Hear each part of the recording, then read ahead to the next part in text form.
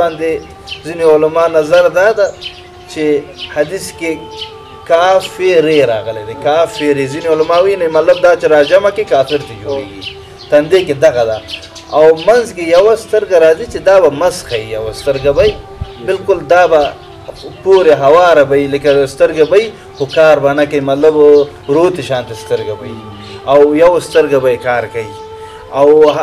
بله مسله په دې کې دا ده چې دی ان یو سترګه حدیث کې آوار چې راغلی دی حدیثو کې آوار چې کومه ده دا یو سترګه انسان ته هم ویل شي خو دا هغه آوار ده هغه یو سترګه ده چې کاذب دروغجن ده دروغ څنګه دروغ دا مطلب چې یعنی دی به په دروغ باندې او په کاذب کذب باندې دی به د خدای دعوه کوي دا دجال ته ځکه دجال ویلی هم شي دا د دجل نه غسته شوی دی دجل دجل معنا عربي کې ګډوډوالی ته وایي یعنې خلکو باندې د حق او رښتیا ګډوډوي مکس کول مکس کول کوي ګډول کوي مطلب دې په خلکو باندې دغه لوی خدای هغه رښتینی خدای ګډوډوالی پیدا کوي چې ګنې دا ځان ښیي زه خدای یم خلک غلطې خلک غلطې کنه او د امتحان د پاره الله پاک بیا د ته ځینی نخې نخانې هم الله ولا ورکړي ځکه چې د ته هغه دغه چې ویل شوی د فتنه فتنه په دې حساب سره ده چې دې ته الله پاک ځینې هغه قدرتونه او ځینې کارونه د ته ورکړي چې خلک په پخه امتحان کې او رښتونی خلک او رښتونی مسلمانان په معلوم دی به اول خو دی به د خدای دعوه کوي نو د خدای دعوی سره ورستو امغه حدیث کې مشتاست ویل چې دې سلوي خورځ به بیا په دنیا کې دی به په هر نقطه او په هر ځای کې بګرځي صرف بدنه دوه منطقې به بچي دوه منطقې بدنه به محفوظي یو مکه ده او بل مدینه ده مکه او مدینه حدیث مبارک راځي چې دغه کې به بل نو دغه د دجال غزینې نخې وي راځو دې خبرې ته چې دا دجال باندې څنګه انسان بچ کیږي لکه دا دجال د شر نه انسان به څنګه محفوظ کیږي لکه چې حدیثو کې راځي وي تاسو به دجال سره د ملاویدو به کوشش نه کوي ځکه چې دا فتنه ده و چې څومره وسم کیږي دنه څنګه ته اوسېږي د دې سره د ملاویدو کوشش مکوي بلکې وي تاسو به تاسو به د دنه اورې څنګه کیږي اړخ ته کیږي داسې نه وي چې تاسو باندې ایمان خراب نه کړي دا ځکه چې وختي مې معرض کړ چې دی به داسې یو کارونه کوي چې هغه انسان په مازغو باندې تاثیر غورځېږي او داسې خارق خارق العاده کارونه کوي نو په حدیثو کې راځي چې نبی اسلام فرمایلی وي چې څوک د ورځې هر ورځ د سورت کهف لس آیتونه او په یو روایت کې د سورته کهف لس آخري آیتونه نو دې نه دا معلومیږي چې چا لس آخري آیتونه وي یا لس آخري اولنی آیتونه نو په دې دواړو کې دغه کې راځي چې دغه انسان به د دجال د فتنې نه به دې محفوظ وي نو او د ده قتل د ده مخنیوي لپاره یوازې یوازې چې هغه الله پاک مقرر کړی دا چې دا به د دنیا نه ختمي هغه به عیسی علیه السلام عیسی علیه السلام د دجال د ختمولو لپاره دا به د قتل او بندوبست به د الله د په واسطه باندې او الله د عیسی علیه السلام په واسطه باندې دا به ختمي خبره په دې کې دا ده چې دا فتنه څنګه لکه مونږ د دې یو نمونه بیانو چې مونږ وایو چې دا ډیر خطرناک فتنه ده او دنه به ځان څنګه تکي او د الله نه به د امداد بغواړي چې د شر نه انسان محفوظ شي یو واقعیا کې ابو سعید خدری رضی الله تعالی عنہ د نبی علی صلوات و سلام نه روایت نقل کړي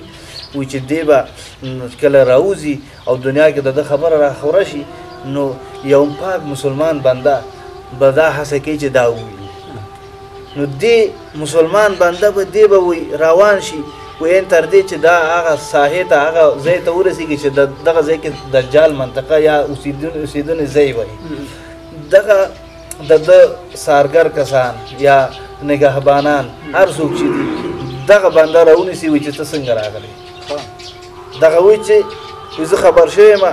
چې یو دروغجن خدای پیدا شوی دا وی زه دغه کتو د پاره راغلی ما نو هغه وی چې آیا تا په ایمان راوړی دی څنګه وی نه وی زه خو په یو الله باندې ایمان لرم دغه دروغجن باندې زه څنګه ایمان راوړم نو دی یو بل ته وی چې دا خو وجل غواړي نو دې کې به یو کس وي چې دا مونږ ته خو مشر ویلی و یعنې دجال یادوي چې دغه بغیر زما د امر نه به څوک تاسو به نه وژني نو دې به راونیسي او دجال ته به ویسي هلته به یې مخامخ کړي نو کله چې دې دجال سره مخامخ شي دا ګوزي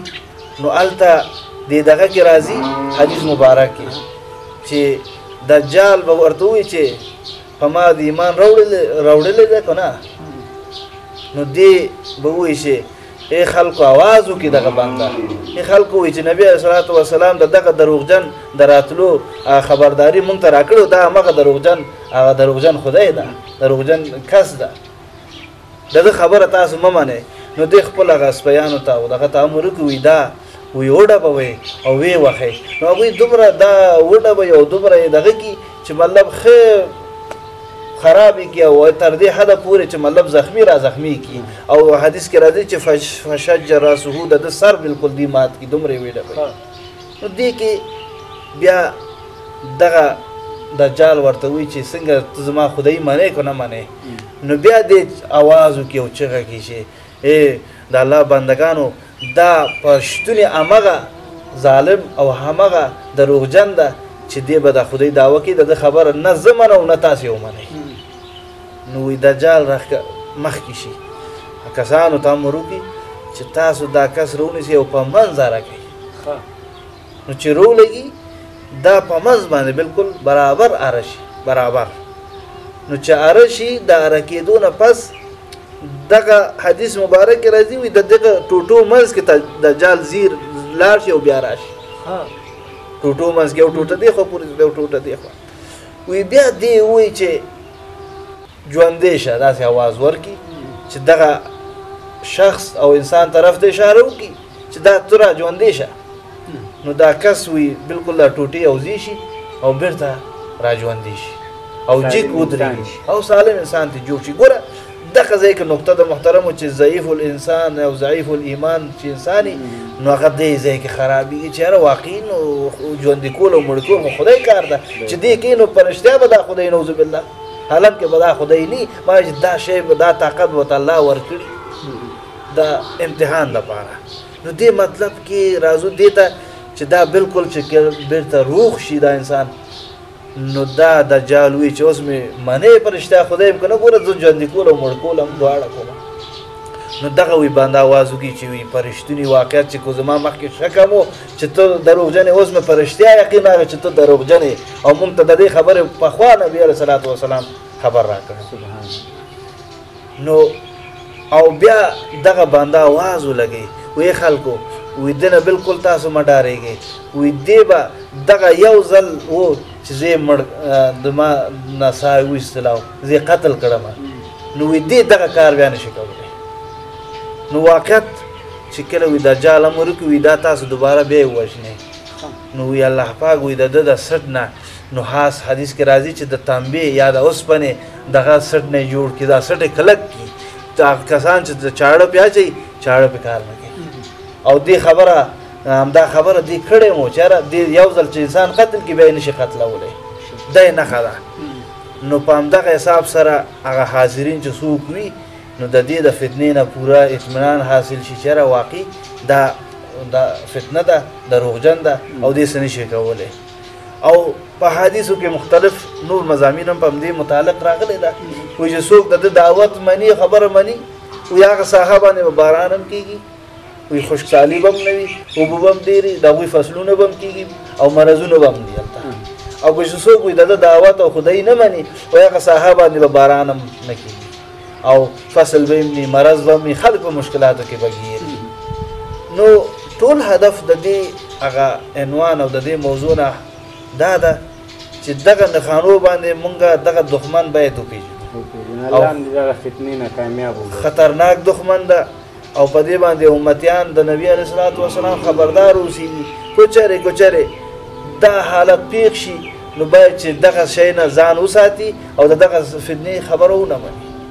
په دې باندې د عمل کولو توفیق